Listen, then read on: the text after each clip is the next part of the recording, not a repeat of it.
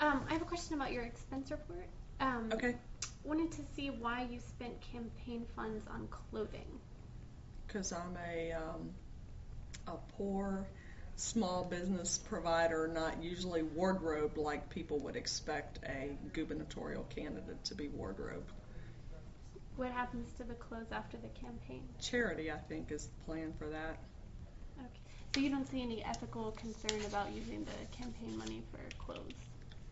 I've got a lot of concerns about the ethics rules in Texas, but that's the rule, and so, no. What What's the rule? Texas, I don't have any problem with having to report your expenditures. I don't have any problem with having to report your contributions. Um, I have a problem with um, the, the all of the regulations on where we report them. We really do almost require only wealthy people to be able to run for office. Um, it is incredibly restrictive.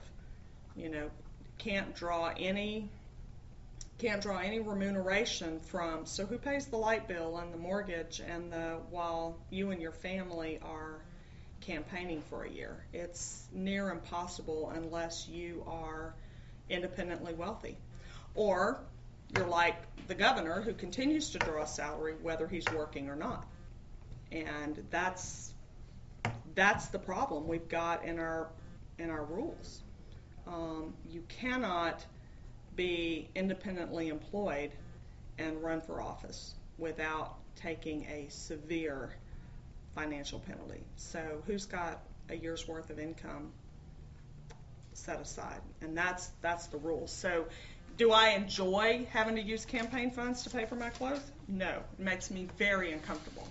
But it's probably more important that I pay my mortgage, and so the campaign's going to get to pay for the clothes that I have to wear and the shoes that I wear out.